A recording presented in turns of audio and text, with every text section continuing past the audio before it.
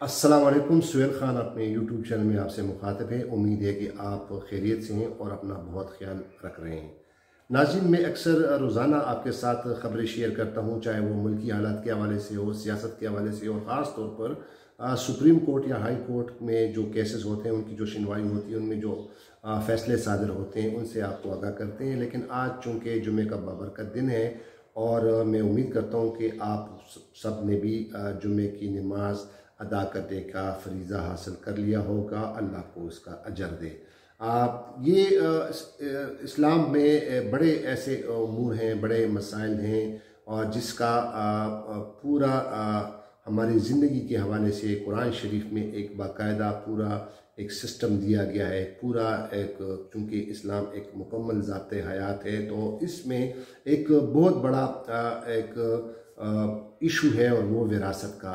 आज, जिस तरह मैंने आपको कहा कि, जब हमने जुमे की नमाज़ अदा की और जुई मस्जिद से निकले तो तंजीम इस्लामी, जो कि बहुत बड़ी तंजीम है पाकिस्तान में, इसके बानी जो थे, डॉक्टर इसार अहमद साहब मरहूम किसी तारफ़ के मोहताज नहीं पूरी दुनिया में उसको एक वेल रिप्यूटेड स्कॉलर थे। उनकी ये तंजीम है, तंजीम इस्लामी। तो उनके कुछ आज कारकुन मस्जिद के बाहर पम्फलेट तकसीम कर रहे थे। वो पम्फलेट जब मैंने लिया, मैं घर आया और उसको मैंने पढ़ा तो उसमें जो टॉपिक को उन्होंने टच किया है तंजीम इस्लामी ने, वो विरासत के बारे में। विरासत के बारे में नाजिन आपको पता है कि ये अक्सर हमारे यहाँ मसला होता है, विरासत का, किसी ख़ानदान का, किसी फ़र्द का जो जायदाद होता है, उसमें विरासत जो है, वो बड़ा अक्सर मसाइल पैदा होते हैं। किसी शख्स के फौत होने के बाद अक्सर विरासियत का और विरासत का जो है, वो इशू होते हैं। और बाज़ अवत इसमें कुरान और हदीस की रोशनी में इसे तकसीम करने में मेरा जो कि वरसा हैं, उसमें तकसीम करने के में बड़ी गफलत करते हैं। और अक्सर हमारे माशरे में यतीम बच्चे, ख़ासकर ख़वातीन इस जुल्म का शिकार रहते हैं कि उनको विरासत में हिस्सा नहीं मिलता। और जो कि काफ़ी जो है तशवीश का होता है और फिर वो अक्सर इससे बहुत मसाइल पैदा होते हैं, झगड़े होते हैं और इससे जो बड़े जन्म लेते हैं। तो आज तंजीम इस्लामी ने विरासत के हवाले से जो पम्फलेट तकसीम किया, इसमें बड़ी खूबसूरत अंदाज से इसमें कुरान हदीस की रोशनी में उसमें उस पर तफसील से रोशनी डाली है और उसके कुछ चंद पॉइंट्स हैं जो मैं आपके साथ शेयर करना चाहता हूँ। उम्मीद है आपको पसंद आएगा। तो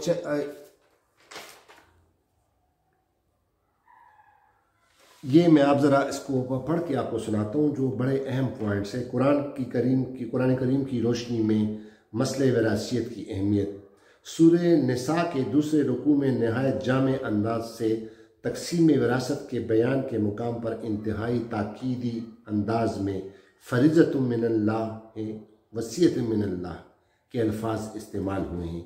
इसके बाद इरशाद बारी ताला है कि ये अल्लाह की मुकर कर मुकर की हुई हदूदें हैं। जो अल्लाह और उसके रसूल अलैहि वसल्लम की अतात करेगा, वो दाखिल करेगा उसे उन बागात में जिनके दामन में नदियाँ बहती हैं। और हमेशा रहेंगे। और ये लोग हमेशा वहीं पर रहेंगे। और यही है, बहुत बड़ी कामयाबी। और जो कोई नाफरमानी करेगा, अल्लाह और उसके रसूल की, और उससे तजावज़ करेगा तो उसकी हदूद से वो दाखिल करेगा उसको आग में, जिसमें वो हमेशा रहेगा। अहादीस मुबारक की रोशनी में जो विरासत के बारे में जो बताया गया है, वो मैं आपके साथ शेयर करता हूँ कि नबी करीम सल्लल्लाहु अलैहि वसल्लम ने विरासत के इल्म को निसफ इल्म करार दिया है। एक और हदीस में नबी करीम सल्लल्लाहु अलैहि वसल्लम ने फरमाया कि इल्म मीरास है, सीखो और उसे और लोगों को भी सिखाओ, क्योंकि मैं वफात पाने वाला हूँ और अनकरीब इल्म उठा लिया जाएगा और बहुत से फितने ज़ाहिर होंगे। यहाँ तक कि वो आदमी हिस्से मीरास के बारे में झगड़ा करेंगे और उन्हें ऐसा कोई शख्स नहीं मिलेगा जो इसके दरमियान ये फैसला करे। यानी विरासत के बाद अक्सर बड़े झगड़े होते हैं और इस पर कोई फिर फिर इसके फैसला नहीं कर सकता जो किसी शख्स को विरासत में हिस्सा देने का। तो इसी तरह नबी करीम सल्लल्लाहु अलैहि वसल्लम ने फरमाया कि बाज़ लोग तमाम उम्र अल्लाह ताला की अतात व इबादत में मसरूफ़ रहते हैं, लेकिन मौत के वक्त वारसों को ज़रर पहुँचाते हैं और किसी हुलिये से या तो हक दारों का हिस्सा कम कर देते हैं या मुकम्मल हिस्से से महरूम कर देते हैं। ऐसे शख्स को अल्लाह ताला सीधा जहन्नम में पहुँचा देता है। मसले विरासियत अहम और हमारा ये माशरा। अब इस पे दौरा जो हमारे जो माशरे में जो इसकी तरह से जो मसाइल पैदा होते हैं, कुरान हदीस में विरासत की तकसीम के बारे में इस कदर ताकीदी के अहकाम के बायस हमारे ने भी तकसीम विरासत के मामला को नहायत तफसील से बयान किया है। लेकिन हमारे माशरे में इस फ़र्ज़ से मुसलसल कोताही बरती जा रही है। ख़ास तौर पर बहनों और बेटियों की अमूमन विरासत से महरूम कर दिया जाता है। हमें ये एहसास ही नहीं कि ये अजान हो रही है। इसके बाद में ज़रा आपको जी नाजरीन तो कहते हैं कि हमारे माशरे में इस फ़र्ज़ से मुसलसल कोताही बरती जा रही है यानी विरासत के हवाले से। हमें यह एहसास ही नहीं कि इस तरह हदूद अल्लाह की पामाली के नतीजे में जहाँ आखरत में शदीद अजाब की वईद है। दुनिया में भी उसके बहुत से नुकसान हैं और ये चीज़ बसाओकात हमें बाहमी दुश्मनों का बायस बन जाती हैं। अब वह विरासत से मुराद है क्या? विरासत एक गैर इख्तियारी इंतकाली मलकियत है, जिसमें मरने वाले का तरका उसके वरसा को मुंतकिल हो जाता है। जिस पर मरने वाले मैत की मलकियत जो भी मनकूला या गैर मनकूला जायदाद हो तो वो तरका कहलाता है। शरीयत की तरफ़ से तैंतीस फ़ीसद से जायद गैर विरासत के हक़ में वसीयत करने का इख्तियार हासिल नहीं है। मुसलमान होने के नाते हम पर लाजम है कि कुल तरक की तकसीम शरीयत के अहकाम के मुताबिक की जाए ताकि अल्लाह ताला की नाफरमानी से बचा जा सके। अब जो वसीयत का कानून है, उसके बारे में भी इस पर रोशनी डाली गई है और उसमें यह कहना है कि शरीत इस्लामी में वसीयत का कानून बनाया गया ताकि कानूनी मीरास की रूह से जिन अजीज़ों की मीरास में हिस्सा नहीं पहुँच रहा है और वो मदद के मुस्तक हैं भी हैं। मसलन कोई यतीम, पोता या पोती मौजूद है या किसी बेटे की बेवा मुसीबत ज़दा है या कोई भाई या बहन या कोई दूसरा अज़ीज़ सहारे का मोहताज है तो वसीयत के ज़रिए उस शख्स की मदद की जाए। वसीयत करना और ना करना दोनों अगरचे जायज़ हैं, लेकिन बाज़ अवकात में वसीयत करना अफजल बेहतर है। अक्सर अवकात हमारे जो लोग होते हैं, वो अपने जायदाद के हवाले से वो वसीयत नहीं करते और जब उनका जायदाद होता है तो उनके फिर वरसा में उनके बेटे, बेटियाँ और उनके दामाद और पोते, पोतियाँ वगैरह, उनमें फिर ये बड़ा मसाइल का शिकार होते हैं। तो एहसन और अफजल तरीका ये कि कोई भी शख्स अगर वो मरने से पहले अपने जायदाद के हवाले से वसीयत करे तो ये बहुत बेहतर होता है।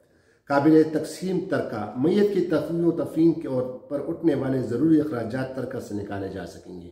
यानी वो जो, उसका जो हिस्सा है उसका जो जो किसी भी कोई शख्स वफात पाता है तो उसके तदफीन के हवाले से उस पर जो भी अखराज होते हैं तो उसी से फिर ये अखराज उठाए जाते हैं। मसलन, कबर की खुदाई, कफन और कबर के लिए जगह वगैरह सब अमूर तफीर व तफीन में दाखिल हैं।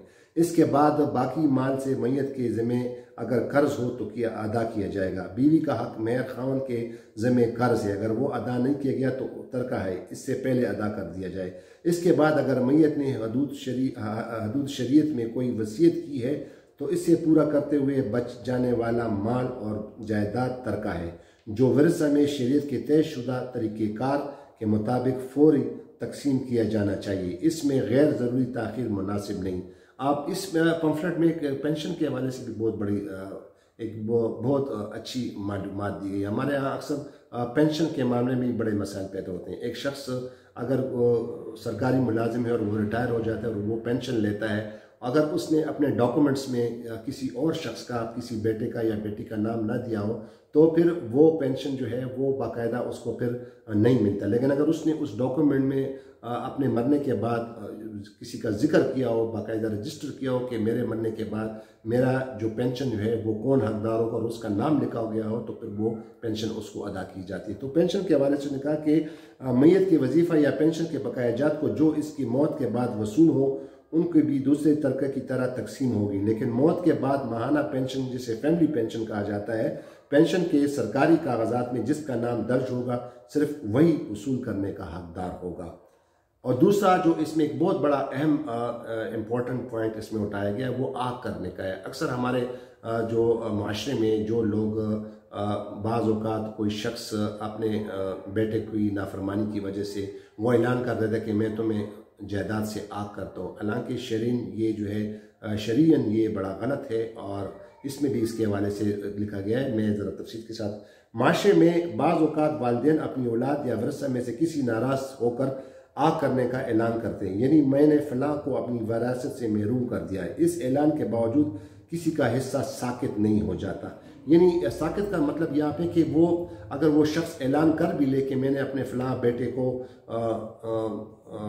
नाफरमानी की वजह से उसे, उसे आग कर दिया तो शरीयन जो है उसका उसके जायदाद में अपने वालद के जायदाद में हिस्सा आ, जो है वो ख़त्म नहीं हो जाता है साकित नहीं होता है बल्कि वो बरकरार रहता है। तो ये ऐलान करना गैर इस्लामी तो है ही। इसमें ऐलान करने वाले से आखिरत में पूछ गछ होगी। यानी अगर कोई शख्स इस तरह ऐलान करे कि मैं फ़लाँ बेटे को उसकी नाफरमानी पर आग करूँ, आग करता हूँ और उसको जजात से मिलने वाली जो हिस्सा है उसे आग करता हूँ तो ये कह रहा है कि ये शरीन जो है, ये शरीन उसूल के ख़िलाफ़ है और वो उस शख्स को फिर मौत के बाद उसे फिर जो है, अजाब से सामना करना पड़ेगा। तो यही इसके बारे में कहा आखिर में पूछ गछ होगी और दुनिया में भी उस फैल को से तोबा करते हुए रुजू कर लिया जाए। अलबत् शरी हक सिर्फ़ उस सूरत में साकित हो सकता है कि जब विरसा में से कोई फ़र्द मुर्तद हो जाए और इसी तरह मुँह बड़े रिश्तेदार विरासत में हिस्सादार नहीं होगी। यानी अब एक दूसरा बड़ा अहम पॉइंट है कि अगर कोई फ़र्ज़ अगर वो किसी को आग करता है तो वो साकित नहीं होता है। लेकिन अगर कोई उसका बेटा मुर्तद हो जाए, इस्लाम को मानने से इनकार कर दे, मुर्तद हो जाए तो फिर उसको वालदेन के जायदाद में फिर वो हिस्सा जो है नहीं मिलेगा जो इस्लाम से मुनकर हो जाए। ये आ, बड़ा कुछ इंटरेस्टिंग पॉइंट थे विरासत के हवाले से और मेरा दिल करता था कि आप लोगों के साथ शेयर करूँ। उम्मीद है आपको ये पसंद आ गई होगी। लेकिन दे, नए देखने वाले लोग जो हैं नाजरीन हैं उनसे इस्तः है कि मेरे इस चैनल को सब्सक्राइब कीजिएगा और अपनी आरा से ज़रूर आगाह कीजिएगा। तो खुदा पाकिस्तान जिंदाबाद।